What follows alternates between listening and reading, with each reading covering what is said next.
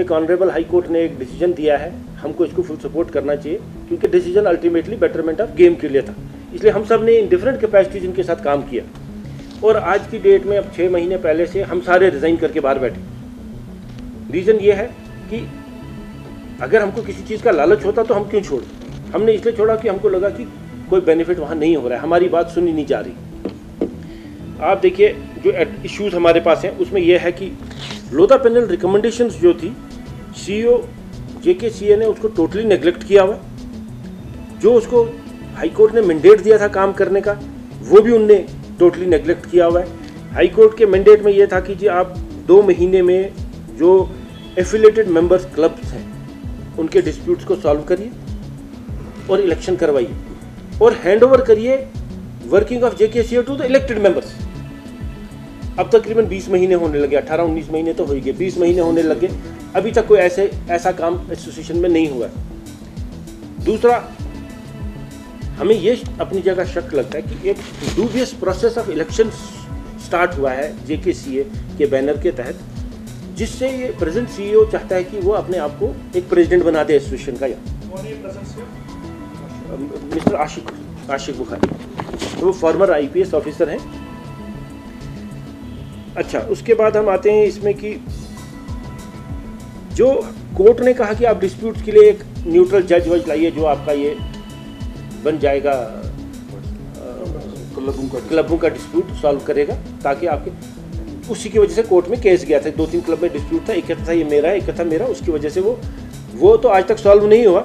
मगर अब ये सीईओ हमें छोड़ नहीं रहा ये बैठ गया वहीं। के पास हाईएस्ट ग्रेड के कोच फॉर्मर क्रिकेटर्स यहाँ बीसीसीआई के रिकग्नाइज हैं। कोच आपने बाहर से क्यों लाया? किसी को पता नहीं। हमें किसी के किसी के बाहर से आने में कोई ऑब्जेक्शन नहीं। हमें ऑब्जेक्शन इस चीज़ पे है कि आपने कैसे लाया क्यों लाया किससे पूछ के लाया किसको बताया इसको आप क्या दे रहे हैं? हमारे को क्यों नहीं लिया?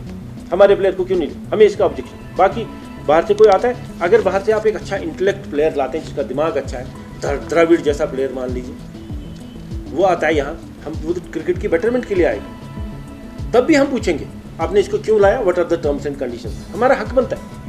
एक आदमी आज बाहर से कोर्ट ने अपॉइंट किया, वो वहाँ आके बैठेगा, चार्ज ले लेगा सारी चीज़ों का। हमको कहेगा, तुम दरवाजे से नहीं घुस सकते हो, वो टॉलरेट होगा। फिर उसके बाद, अब लास्ट ईयर इरफान पठान ने तो कुछ नहीं किया। फेलियर रहा। सारे सीज़न हर फॉर्मेट में। अब इस साल कहता है, मैं नहीं खेलूँगा। अब उसको कोच कम मेंटर बना दिया। तो फिर किससे पूछा? ये बादशाह है ये डिक्टेटरशिप है। जो सीईओ की मर्ज़ी वही करेगा। क्रिकेट एडवाइजरी कमेटी कहाँ है क्रिकेटर्स की कमेटी कहाँ है जो इसको एडवाइस करती है जिससे पूछता he is not supposed to take any decision in cricketing matters. All decisions are to be taken as per Honorable Supreme Court, as per High Court, as per Lodha Commission recommendation by the cricketers advisory committee. जिसमें पुराने cricketers होंगे that committee is not in place how is is taking decision कि आपने एक आदमी यहाँ भेजा with with a mandate with an agenda clearly discussed in the order कि आप दो महीने में ये काम करिए बीस महीने हो गए what has done has honourable court ask him कि आपने वो इलेक्शन किए वो डिस्प्यूट खत्म किया नहीं किया? What he has done he has change the constitution of JKC